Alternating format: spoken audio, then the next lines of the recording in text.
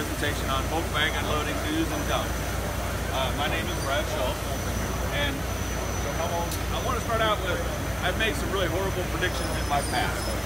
And uh, one of them is, nobody's ever going to pay for bottled water. Um, I would have lost this bet.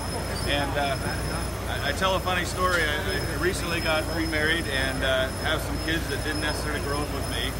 And uh, during the summer last year, we were all out in the yard working and it was really hot and everybody was getting thirsty. I walked over and I turned on the hydrant and I got out my garden hose and I started to drink out of it. And you'd think I killed the cat.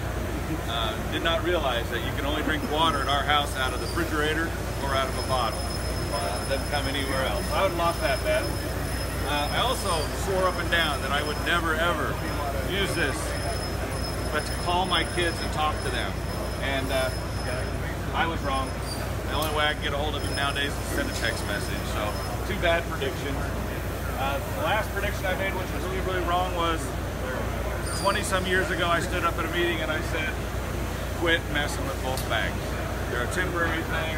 Don't invest the time and money. Go somewhere else. It's a fad. Uh, the reality is, we build a lot of bulk bag unloaders. As a matter of fact, it's the largest growing segment of our business for the last five or six years. Um, we build a lot of bulk bag unloaders. Here's bulk bag unloaders feeding a pneumatic conveying system. Bulk bag unloaders, uh, another facility feeding a pneumatic system. Uh, this is bulk bag unloaders feeding into what we call a hockey puck mechanical system. Bulk bag unloaders feeding a and weight system.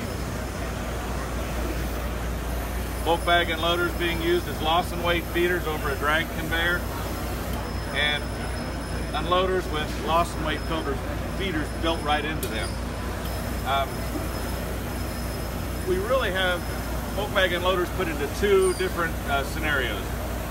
Uh, we're unloading bulk bags into what we call a gravity discharge situation, where we're either dropping into a mechanical conveyor, a pit, or a volumetric feeder, just right out of the bag, possibly even into a hole in the ground, but into something where there's no airflows to worry about. Or because we're Magnum systems and we do pneumatic conveying systems, a lot of our unloaders go right into our pneumatic systems. Talking about unloading of bulk bags into a gravity situation, um, a lot of times what we see is the mentality of well, what could be easier. You, you hang a bag up in the air, you untie it, you let it flow out. As a matter of fact, here's an email I got just last week from a customer. I need a bulk bag unloader for 1,400 pounds drop it right into the small spot in the ground, and I've got nine foot four inches to deal with. Um, here's the problem. Bulk bag unloaders start at 16 feet. Um, it's real simple. The bag is so tall, the straps are so tall, and the human is so tall. So you factor that into the whole thing, the very minimum we're always talking about is 16 feet. Um, here's a couple pictures that show gravity unloading. And what I want to point out here is that in these two pictures, the one on the left, limited ceiling height. And you can tell that the untie box, the guy's gonna have to get on his knees to get down there to untie the bags here. On this one, the guy's gotta get into a ladder to get up there and untie it. So both situations are less than desirable um, and it's something that people don't think about when they're unloading a bulk bag. Um, more common for us is unloading into a pneumatic conveying system. And uh, here's a picture of four bulk bag unloaders that are dropping into a pneumatic conveying line. Um, stepping backwards just a little bit, when you have a pneumatic conveying system, you really have two types. You either have a pressure system, which this is, which is a blower, silo, or whatever blowing to multiple destinations. Perfect application for pressure. Single pickup, multiple destinations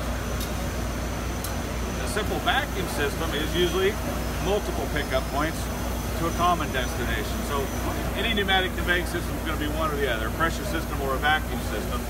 And if you have to put a bulk bag unloader into that system, you would think in your mind, you'd say on a pressure system, that's where I would put it at the beginning of the system because I'm trying to blow product to the destination.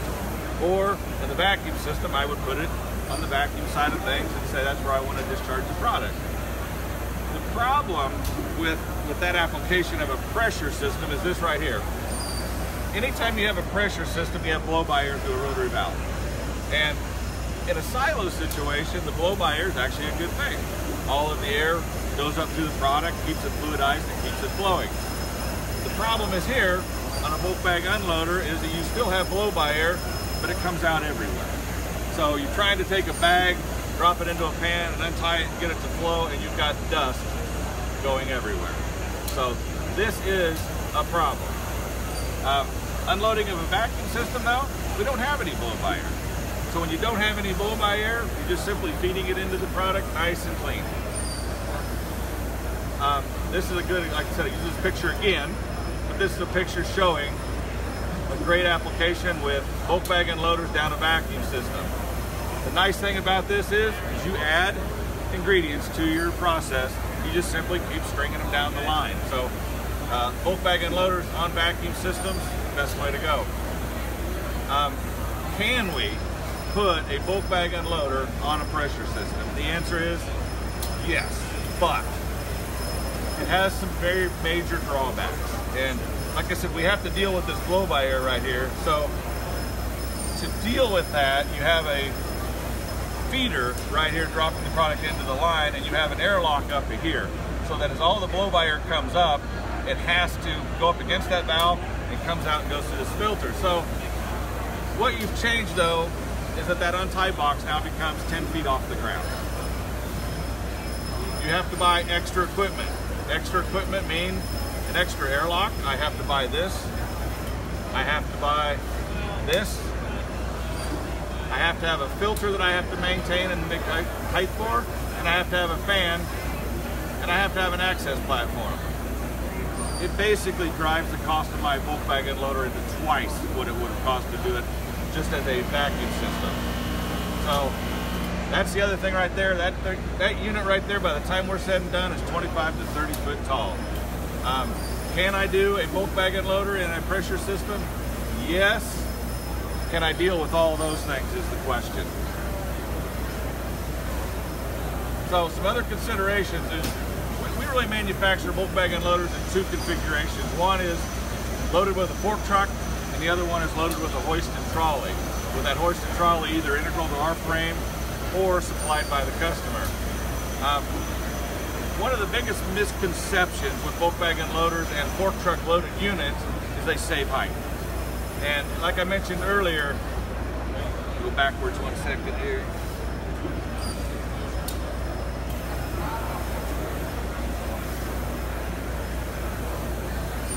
The height to the top of the straps is fixed and that untie box is fixed. So even though the biggest misconception is that it saves me height to do without a hoist trolley, the reality is, is it doesn't. And this is the reason. The fork truck still has to have mast and uh, the, the uh, forks on there and that guard right there, that eats up more height than a hoist and trolley does. And uh, let me show you a quick video. It also requires a lot more people to operate because this right here, you've got a fork truck operator and usually you have to either get down and go over and hang the bag or you have to have somebody else do it. Um, people think that the money they save by not doing a hoist and trolley uh, anything. It really doesn't. It's offset by all of this labor that has to come with it. So, also going to point out another thing here. When he goes to set it in the cradle, you can see that the height there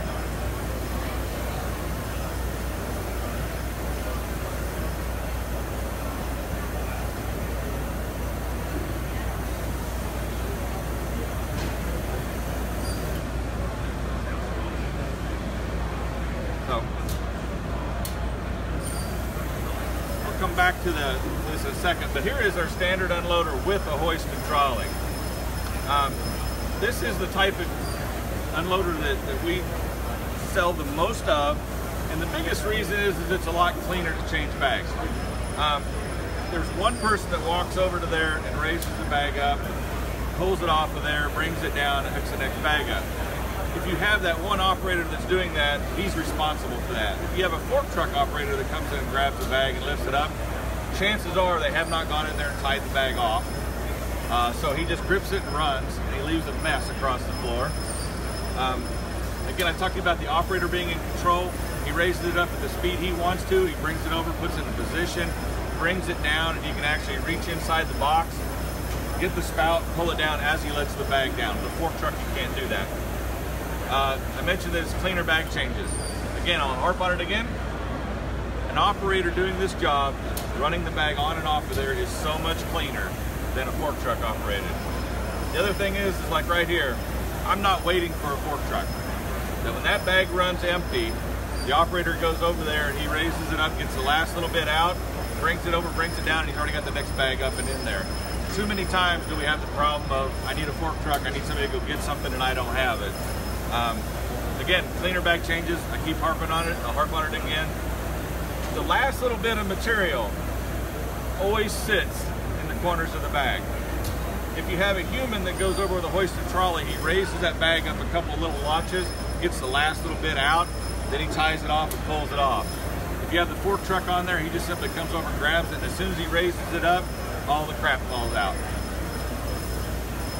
So, now, there are applications that I would tell you that the hoisted trolley by others is a good application. This is one.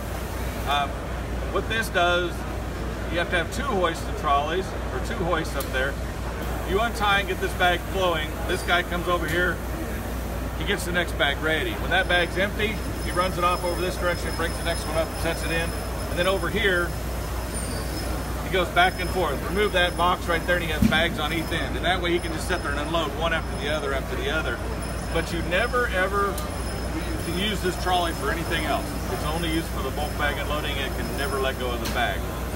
So the other thing bulk bag unloaders are used for is de-weighing devices. This is a great application. You can see the load cells on all of the unloaders.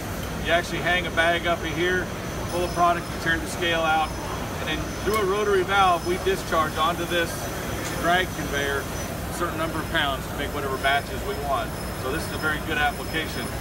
What I don't like about this one is this, this one right here is hoist and trolley. The other one I video showed fork truck. The fork truck, um, that's the danger in fork truck loading of, of bulk bag unloaders sitting on scales. All it takes is one lazy fork truck operator or not paying attention and you damage your load cells. Um, the other thing here is looking at these, just be careful of your accuracy and what happens when you run out of a product you still have to continue to make a D-way. You need 400 pounds but your bag only had 200 in it. How you deal with getting that bag off and getting the next bag on and getting going is always going to be a problem. So um, I also question this right here, type of feeder and fingers.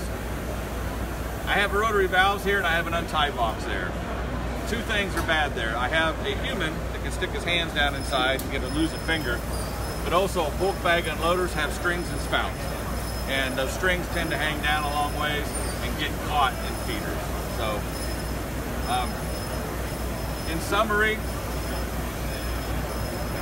always use bulk bag unloaders in vacuum systems if all possible any money you spend on a hoist and trolley is worth the money, and bulk bag unloaders are always taller than you think they're going to be.